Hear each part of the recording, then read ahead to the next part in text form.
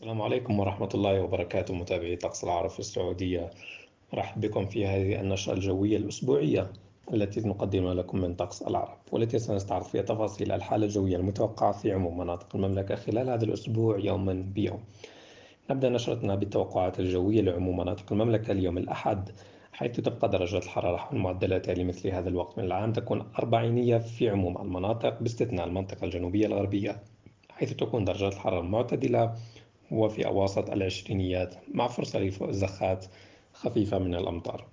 يوم الاثنين بحول الله تتشكل حالة ضعيفة من عدم الاستقرار الجوي في المنطقة الوسطى وأيضا المنطقة الجنوبية الغربية.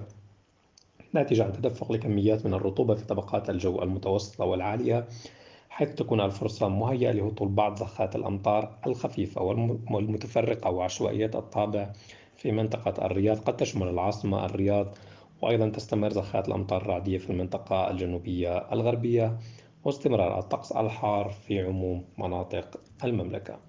بالنسبة ليوم الثلاثاء بإذن الله تستقر درجات الحرارة حول معدلاتها لمثل هذا الوقت من العام. تكون درجات الحرارة أربعينية في عموم المناطق. أيضا تتراجع أو تتلاشى حالة عدم الاستقرار الجوي في المنطقة الوسطى وبالتالي يسود طقس صافي في منطقة الرياض والعاصمة الرياض أيضا. وتستمر زخات الأمطار الرعدية في المنطقة الجنوبية الغربية. بالنسبة ليوم الأربعاء لا تغيير على الحالة الجوية درجات الحرارة حول معدلات مثل هذا الوقت من العام. طقس صيفي اعتيادي في عموم المناطق تستمر زخات الأمطار الرعدية في المنطقة الجنوبية الغربية. بالنسبة ليوم الخميس ترتفع قليلا درجات الحرارة في المنطقة الشمالية. هذه المرة درجة الحرارة تكون في أواسط الأربعينيات أعلى من معدلاتها لمثل هذا الوقت من العام بينما تكون حول معدلاتها في باقي المناطق مع استمرار لهطول زخات الأمطار الرعدية فوق المرتفعات الجنوبية الغربية تحديدا مرتفعات جازان وعسير.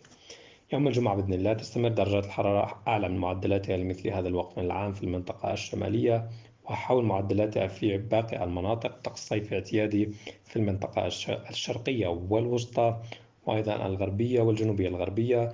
درجة الحرارة تكون معتدلة فوق المرتفعات الجنوبية الغربية تسجل مدينة أبها 27 درجة مئوية فقط مع استمرار لهطول زخات الأمطار الرعدية الموسمية. بهذا ننهي نشرتنا إلى اللقاء.